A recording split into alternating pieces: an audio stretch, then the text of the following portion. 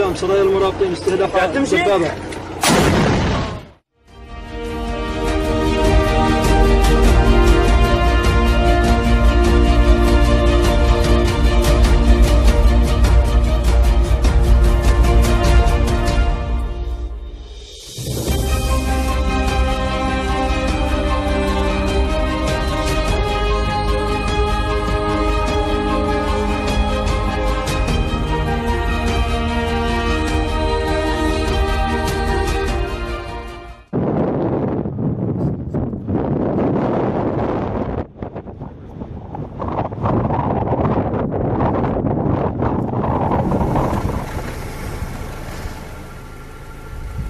we sold our home uh, in July of last year in preparation for a retirement and moving out here so we could work on the bunker to build it out until the um, virus started spinning up. And then we realized because of my age and because of some health compromises that Mary has, we're both high risk.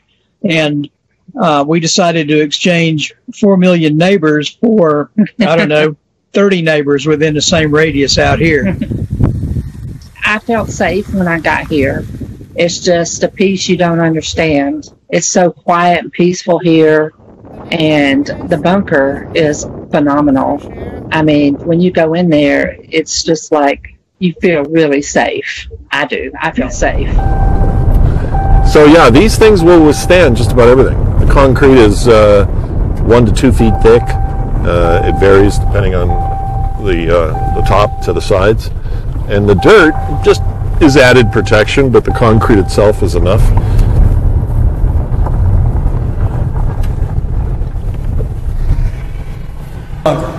This is um, our home away from home, or it will be once we get it built out.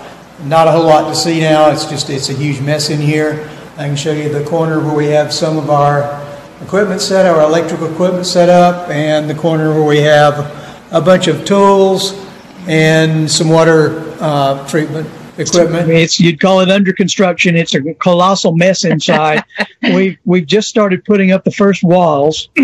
I've I've been out here working full time, uh, but then working on the bunker in the evenings. It, it requires additional planning, that's for sure. Because if you realize that you need a box of nails, the very closest box of nails is an hour round trip to go get it. And if you need to something get something more something bigger or more complex, it's a four hour round trip to get it minimal. And we're both country people, I'll call us.